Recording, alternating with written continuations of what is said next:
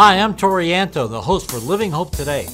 I want to invite you to join us this coming Thursday for a part two of our study on setting priorities for the new year.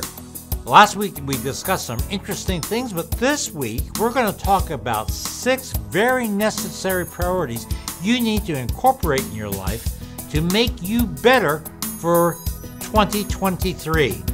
It's going to help you spiritually, it's going to help you in a lot of different ways. So plan to join me Thursday right here on YouTube and Facebook pages for Living Hope Today.